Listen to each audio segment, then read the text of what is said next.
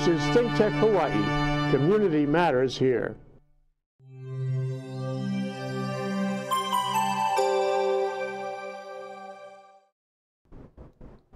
Hello, welcome to Out of the Comfort Zone on OC16 Television with Think Tech Hawaii. I'm your host, RB Kelly, body language boss, and I've got a really cool body language tip for you today. Now, here's the thing I could take about 30 seconds and give you one tip, or I could take about 30 seconds and give you five. So, here's what I want you to do I want you to pull out your phone and I want you to text sales. Text the word sales to 38470 and you will get over the next five days one tip per day on how to use body language. So, hasn't been 30 seconds, but I want you to pull out your phone, text the word sales to 38470 to get your free five body language tips. All right, now on to our book of the week. All right, this is a book that was recommended to me by a friend, and I'm only part of the way through it, but I liked it so much that I wanted to share it with you. It's all about how you can build the moments that stick with you uh, throughout all of history. So it seems like most of our biggest, most exciting, most memorable moments, they happen when we're growing up or when we're in our early 20s, like the big, uh, the big hallmarks, the milestones of our lives, graduation, marriage, um, and then after that, you don't seem to get a lot until it's retirement. And this book the power of moments helps you to find and create more of these moments that make life memorable. So, whether you want this for yourself, whether you want it for your kids, making moments memorable is the spice of life, I think. So, this is The Power of Moments by Chip Heath and Dan Heath. And if you have a chance, I'd recommend you check it out. Now let's get on to our guest. Now our guest is a personal friend of mine and I'm really excited to have her here. And we're not going to shake hands because I'm a little coffee. So if you see something in my cheeks, that's my cough drop so I don't like But I'd like to welcome Kylie Kumalai. Hi Kylie, welcome to the show. Yay, air fives. Air fives. All right, yes, sake of hygiene. So Kylie, welcome to the show. Thank you for coming. And Thank you for having me. My pleasure. Can you tell us what it is that you do? So I'm a transformational coach. And people are like, what does that mean? Right? So what I do is I help unlock people's blocks, limiting beliefs, anything that's keeping them stuck from having true success in their lives. They spit it out, I take that and we work through it. And on the other side, they have massive breakthroughs and mind shifts and it's it's the most amazing experience when I can see a client go from kind of like broke and downtrodden to like victorious and triumphant and they've overcome all these issues, it's the best feeling in the world. So I have the best job. I mean, you have a good job, but I have the best job. I love that, Kylie. And I love that you say that because one thing I've noticed in my life, um, as a body language coach, I was doing pretty good. But then I, I worked with a mindset coach and I broke through my issues, and all of a sudden it was like, I was doing awesome. So some of you are being skeptical right now in the audience thinking, oh, that doesn't work. But I can tell you, this mindset stuff, it really works. Yes, it does. And for me, that was how I got on my own transformational journey. I hooked up with a coach and I fell in love with the power of coaching. And, you know, I got my certifications and I was a mental health specialist back way, way back in the day when I was in the Army. And you know, the love of psychology and just how the brain works is so fascinating to me. And I like that you mentioned the book, The Power of Moments. I haven't read it personally, but how it speaks to me is, you know, we're so um, caught up sometimes in the way that we're brought up. You know, all these limiting beliefs are because of these moments that we've had growing up. Like, whether you're like for me my parents were divorced. You know, that put a label on me. And then I'm a female working in an all male dominated industry. That put another label on me. So it, you know, when you have these, like you said, moments in your lives and you have these labels that you have to break through, it, you know, the power of the mind is so, it can either hurt you or it can make you into something better and bigger than you ever imagined. So. I love that. I love that. Now, can you tell us about some of the, the typical limiting beliefs that you deal with with your clients? So, the, usually the number one thing that comes up is lack of self confidence. Mm. And I mean, I suffer from that too. I mean, we, we all do, right? And you teach us how to fake it before we make it, right? With the power of body language. And I love everything that you've taught me. And when, um, you know, when clients come to me and they're like, you know, I really, they say, this is the goal that I want to achieve. Some type of success, some type of, you know, I want to achieve X, Y, or Z. And so we kind of talk about, okay, so what are some of the things that are hindering you? A lot of the things that come up is self worth. You know, they don't have the self worth that they are valuable. And when we dig deeper into their history, it's because someone told them that they weren't worth it. Whether it was verbally, non verbally, but you do a lot of the non-verbal thing. But, you know, as, and I'm a parent now, you know, as, so as parents, or as children, when we receive messages from our parents, it could be a condescending look or even just kind of a guffaw or some something that tells us that we weren't good enough to receive the love that we needed to receive. And honestly, that's why I named my company the Aloha Unveiled Transformational Coaching. Because once the aloha or the love is unveiled within, that's when you can achieve true greatness or tr- your your true self will start to shine. And even as I work with my own coach, and every time I go in, she's like, "Your eyes, your eyes are just lighting up, and your face is beaming, and it it feels good to receive, and it also feels really good to give that to my clients. See the the happiness on their face, and that they've overcome something. It's again, it's just why I love what I do. I love that. so Kylie, can you tell us what made you decide to start coaching like this? So, well, I started off as a health coach because I was having adrenal burnout issues. So, in my regular job, I worked shift work. And so that would be two weeks of days, 12 hour shifts, and then I switch over to two weeks of nights. And I've been doing that for the last almost 20 years. So that will do a number on your body. And I didn't know what was wrong with me. And my husband was like, hey, you're tired all the time. I'm like, that's just part of shift work. That's just part of what I put my body through all these years. And he's like, you should get tested. So I was like, okay. So they ran, I swear, like the, the list, they, I think there were like 10 boxes unchecked for the things that they, they wanted to check me for. And what it came out to was the number one thing that was wrong with me was my adrenals were burnt. I had just put my body through the ringer for too many years and I was just burned out. And my doctor usually he says usually I don't tell people to drink caffeine so that your adrenals can recover, but he said I don't know how you're walking around right now with those numbers. So just keep doing what you're doing, wait till the meds kick in, and then we'll go from there.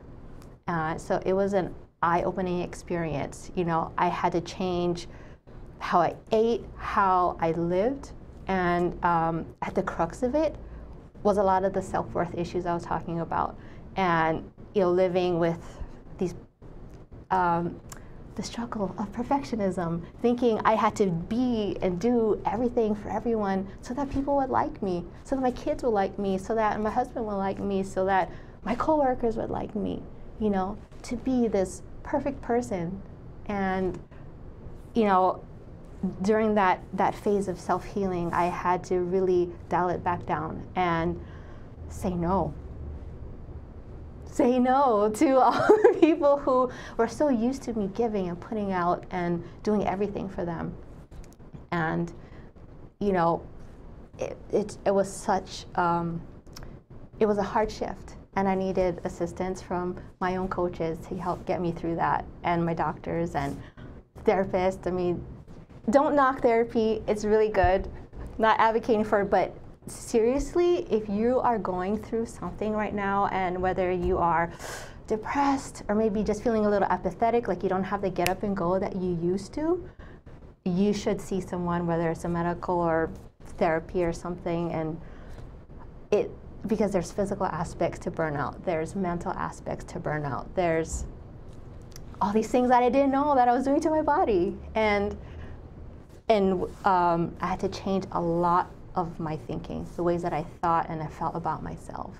And, you know, thank God I'm here on the other side and I can talk about it now, but like going through it, it was H E double hockey sticks. it, you know, it was it was a it was a hole that I had to kind of dig myself out of, and that's where I brought the emotional wellness piece into the health coaching that I do because I do have mental health background when I was in the army, and I realized that um, sometimes when you don't have to get up and go, it may be physical, it may be mental, maybe emotional, and all of that contribute to us not being able to to you know to do the things that we want to do.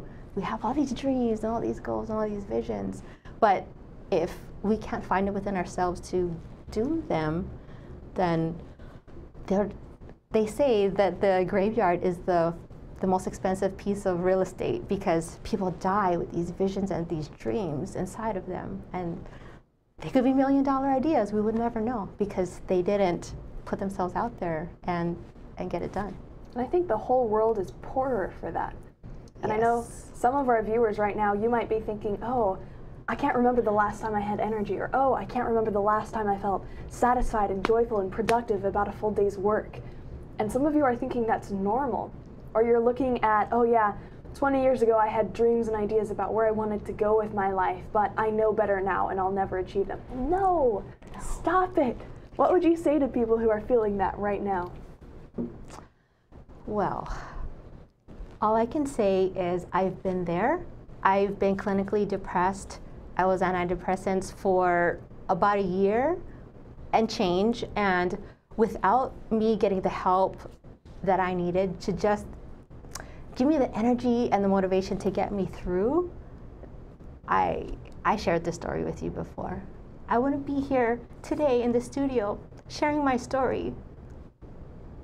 And, um, you know, you know, through through um, the grace of God and everything that's happened, you know, I, everything just kind of lined up where I got the help that I needed, the right people appeared at the right time. And, you know, if that's you today and you're not feeling like you you can go on and um, you know you really need to talk to someone you know my information's here if you just call me and you know i love to talk to you because there's something inside of you that you know, a lot of the times when we feel depressed or we feel like we can't go on, it's because we have a dream that we're born with and we're not living that dream. And so there's something inside us that died. And so that's why sometimes you feel like you're not alive, you're not experiencing the life that you want, and so you give up. But it's not the time to give up. It's actually the time when you feel this way that it's the trigger that's telling you that there is something inside of me that wants to come out and it, your body knows or your your consciousness knows that you're hiding something from the world and that's a time where you need to just you know get to it and and have someone like me or RB or someone that's close to you to just talk about it and get it out. Because we all have dreams. We're, we were created for a purpose here on the planet, and if you don't do it, who will? I love that. Thank you, Kylie. And I actually have a personal story that agrees with everything you just said, but first we're going to take a small break. We'll be back in a second. Stay tuned. Aloha, I'm Keli'i Akina, and I'm here every other week on Mondays at 2 o'clock p.m. on Think Tech Hawaii's Hawaii Together. In Hawaii Together, we talk with some of the most fascinating people in the islands about working together, working together for a better economy, government, and society. So I invite you into our conversation every other Monday at 2 p.m. on Think Tech Hawaii Broadcast Network. Join us for Hawaii Together. I'm Keli'i Akina. Aloha. Planning all week for the day of the big game at home just doesn't feel the same. Number on the list is who's gonna drive. It's nice to know you're gonna get home alive. Plan for fun and responsibility. Choose the DD, captain of our team. It's the DD. For every game day, assign a designated driver.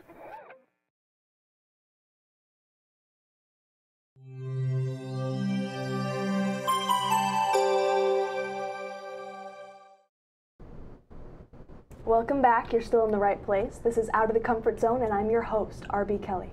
Now, when we left, Kylie was telling us about how when you are not living up to your full potential and you crush down your dreams and you keep them inside, you end up feeling depressed. You feel uh, apathetic. You can't just get up and go anymore. And I can personally attest to that because I remember the darkest days in my life and the times when I don't know what I'm doing, I can't muster the energy to leave the bed or leave the couch have been when I have I had some dream in my mind and I told myself it wasn't possible and I stopped taking steps towards it. And I just got mired. I just got stuck. And I felt so miserable. I could feel physically feel that I was wasting my potential. And things only started to change when I started taking steps towards filling that dream. And they were even just like baby steps, like the teeniest, tiniest steps you could imagine, but even just moving in the right direction makes that fog kind of lift and you begin to see the potential like the, you begin to see the, the everything come into view of what you should be doing and what the next steps are and you feel so much better. Just want to share that with you. Yes. so kylie i'd like to ask you can you tell us about uh, some stories or some, some success stories that you've had with your clients who you've worked with So I've had a range of clients that I've worked with, some more for health issues, some, you know, for mental and emotional issues. And um, one of my best clients, actually, we were talking about money issues, right? So she was an, also an aspiring coach, and she had everything. She, you know, she took all the training, she had all her ducks in a row, but she just couldn't get her mind around this money piece like I can't make money. I don't know why I'm not attracting the right customers. But on paper, she had everything. And we worked through a lot of so she came to me for money coaching. But what was really under the surface was all of these feelings of self-doubt and not feeling good enough to charge people for the services that she was offering. And so we worked through a lot of the mindset issues that she had. And you know, a lot of the time we were just talking about things that were going on in her life right at that moment, whether she was having issues with her parents or her significant other, you know, all of those things were blocking her from seeing her potential. And so, you know, as business owners, we have dreams, we have, you know, money goals, we have, you know, client goals and things that we want to do in life. But when we don't address the day to day, everything that's kind of tying into this feeder, where, you know, this channel of energy, if we have nothing feeding us, we have nothing to come out. And um, while working with her, a lot of the times I would ask her, are they protecting you? Right, especially when she was talking about her parents and things that they're telling her about she shouldn't or should should or shouldn't be doing certain things and we we reframed it and I got her to look at okay there are they are protecting you from some sort of danger from being an entrepreneur.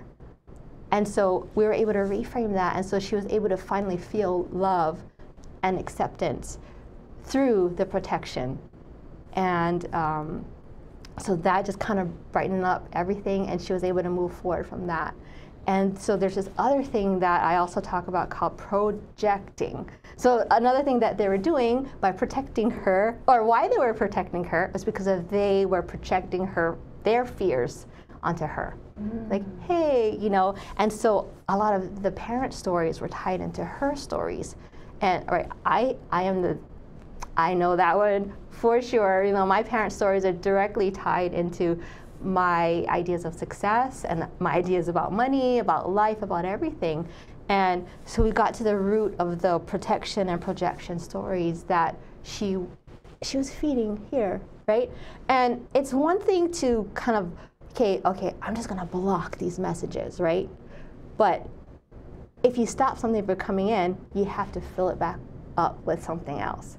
So, you know, we had to undo the negative beliefs and then we had to fill it back in with some positive things. Mm. And you know, w- you know, getting part of the, getting rid of the negative parts sometimes that is challenging for the client, you know, because we dive deep. We go, where no man has ever gone before. But, you know, we, we dive deep. And, you know, I'm grateful for the clients that I've had because they're willing to go deep. They're willing to, you know, address the things that need to be addressed. Because I've had some clients who aren't willing to go there and just say it, say it like it is. And I had, I had a hard time getting the beliefs to shift because they weren't able to dig real deep and get to the root of things, right?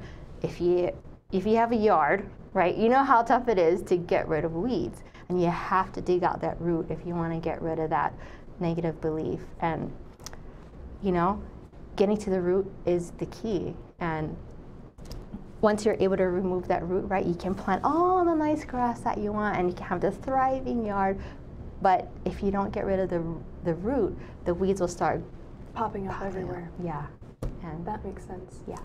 So, what advice would you give some of our viewers about how they can start pulling out these weeds and planting grass or planting flowers instead? So my first word of advice is I mentioned it earlier.